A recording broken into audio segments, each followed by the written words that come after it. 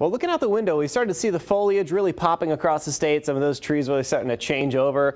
But let's grade how, how well it's going so far. So we'll just bring in the classroom here. We'll take you to school. There we are. There's my apple. So yeah, we're talking about the fall foliage, which has been pretty good for the most part so far this season. But let's bring in the report card. Now, we decided on three different things here. There's color, timing, and nice days. Those are kind of the three main factors for a nice leaf peeping season, a nice fall foliage season.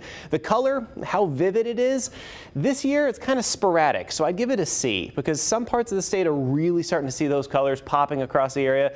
Others just kind of seeing that change over from the green to more like a yellowish color and then eventually just into the November brown kind of leaf color. In terms of the timing, like how close it is to average, we're pretty close, so I'm giving that a B. I'm a tough grade, by the way. You don't want to be one of my students. And in terms of nice days, that's pretty self-explanatory. How many beautiful days do you have to enjoy all the foliage across the state? Oh, we've had the A+, plus, beautiful. It's been a, an amazing stretch of weather here with above average temperatures.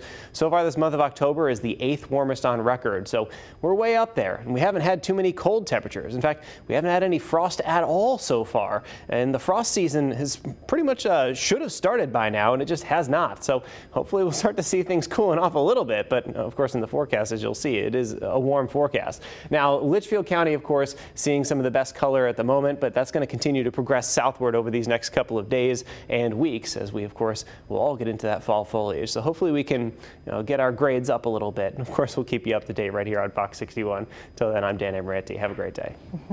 All right, Dan, thank you.